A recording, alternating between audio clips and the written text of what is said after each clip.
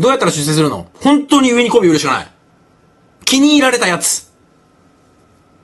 気に入られたやつ。なんか、その、俺社交辞令す、すごい得意なのね。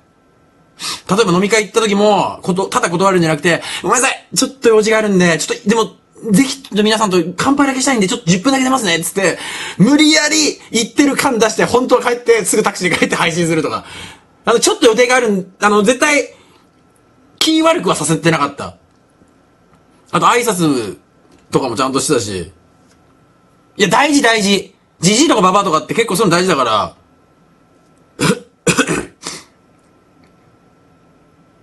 え、なんで10分来るやつ、だって金払ってさ、乾杯だけして、すいませんって三、しかも10分って言いながら10分ちょうどで帰るわけじゃないよ。30分とかで、ごめんなさい、ちょっとこの後予定があるんですよ、つって。そういう、なんかさ、気遣いみたいなのってやっぱ、やられて、嫌じゃないしね。だってさ、みんなさ、今年いくつ？25、まあ、30ぐらいのやつも見てると思うんだけどさ、後輩とかを誘ってさ、いや、ちょっとすいません、いけないっすって言われるよりは、わ赤さんちょっと予定あるんですけど、ちょ、ちょっとだけ行きません？って言われるとすっげえ嬉しくない？そういうのが多分、なんか、仕事のやりやすさに、繋がっていくんじゃないかなって俺は思うけどね。それすげえ嬉しくない？嬉しいよね俺すげえ嬉しいんだよな。ちょ、ちょっと行きましょう。ちょっとご飯食べ、の、飲めないんですけど、ちょっと飯一緒に食いたいっすわ。みたいなのが、可愛い後輩だなって。そう、だから、そういうのが大事なんじゃないのかなと。次誘いたいなって。金はいくら払うの？まあ、それは、ちゃんと払わなきゃダメでしょ。ちゃんと払わなきゃダメでしょ。使った方がいいよ。先輩にはやっぱ多少媚び売ってた方がいいわ。先輩には。女子に飯をおごれよって言えるから、なんかそ、そこまで言えたらクソ可愛がられるだろうね。いや、ちょっと飯食い行きましょうよ みたいなやつって可愛がられんじゃん。そんなのって言えなくない？非常識なやつって可愛がられない？非常識なやつって。で、だから一応、な、やめずに、逃げるまではなんかやめずに、一応管理職だったからな。ある一定の評価もらってたんじゃない？飲み会の頻度によりは週何もないでしょ。月1とかでしょ。たまには出なきゃダメじゃん。あと勉強会には全部参加したし。なんなら、本来出なくてもいいであろう勉強会に、休みの日に、あの、教育係って、これも、これマジじゃあ分かった。これ、本当に来年から働くやつのためにマジ言うわ。これ極意。あの、教育係絶対いるじゃん。で、教育係って、その会社の肝を握ってる人事が、人材が多いので、絶対、中枢人物が関わってるから。だから自分の休みの日にあえて出て、その2年目とか3年目で1年生の勉強会に出て、一番最初に手を挙げて、その勉強会の雰囲気を和ますって役を俺ずっとやってたのね。それすごくない？それで、そうすると上の人たちが、あいつ何なのって。あいつ、ちょっと次の勉強会も来てくんないっつって委員長とかに名前覚えてもらって飲み会参加してコメントたわ。それ、すごかったな。一番効果があった。これマジやった方がいいよ。だって勉強会出ることによって、自分の勉強にもなるじゃん。で、何か質問のある人？って言われて、じ、俺も講師とかやったことあるんだけど、何か質問ある人いますか？とか、こういうところでどう思いますか？って言った時に手挙げてくれるやつってマジ神様なのね。マジで神様なの。絶対誰もあげないのね。あ、ないようなので、じゃあ次行きましょうってなるんだけど、そこで、はい、ありますって一人言うと、あ、じゃあ加藤さんって言われて、あ、な、これがこういうことなんですかって聞いて、あ、そうだよ。じゃあ他にありますかって言うと、絶対上げてくんの。はい、次、ここは何ですかって。そうするとその勉強会の雰囲気ってめっちゃいい雰囲気になるのね。そんなやつやってるやつ一人もいないから、あいつ何なのって絶対なるの。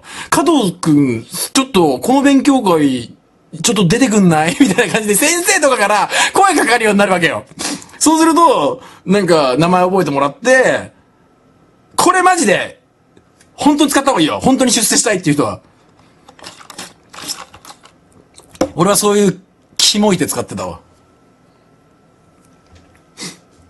いや、でもやりすぎるぐらいはちょうどいいと思う。別にだって本当に質問したい内容があったら何がいけないんですかって。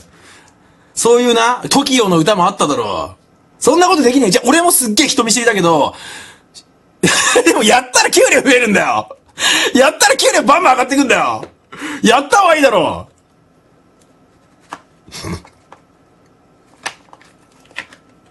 う。その時は俺、母親に、男は出世しなかったら働いてる意味ないって言われてたからさ、いろいろなんか試行錯誤してやってたんだよ。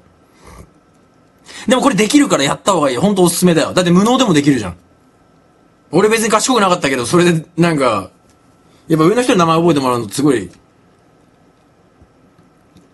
そう、まとめた質問じゃなきゃダメだから、ちゃんとこっちも用意していくわけじゃん。こいつ勉強してきてるなってなって、もう、いいことずくめなんだよ。いや、どんな質問じゃダメ、だ、じゃそんなダメだよ。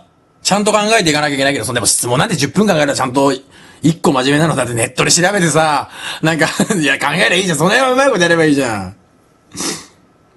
そう。最初に質問するやつは、マジでもう、最強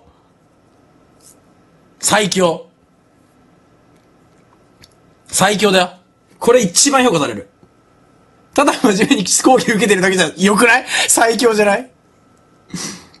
あれ気持ちいいんだよな。俺が一番最初にしてやったぜ、みたいな。一番だよ、だってあれ。一番ってすげえかっこよくない？はい、俺一番、俺一番つって。あの、しかも、ねみんな俺より年下だからさ、負けたくねえわけじゃん。おめえらも一番取っていいぞ。一番取っていいよ。何回も質問してて申し訳なきゃ関係ねえやんな。質問して内容があるんだからしょうがねえだろ。やってたわ。やってたやってた。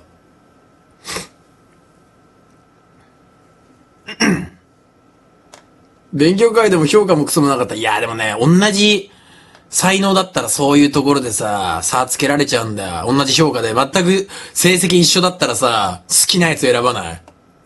でさ、その、人間に差なんてねえんだよ、大して多分。能力的な差を感じることってあんまねえだろ。プロ野球選手とかさ、一郎とか見たらそれは、きりねえけどさ、早田とかだったらなん、だからみんな慣れそう気がすんだろ。そういうもんなんだ。意外と人間ってさねえんだよ。だからそういう人、なんかちょっと、ちょっとしたところでな、評価変わってくるわけよ。間違いねえから。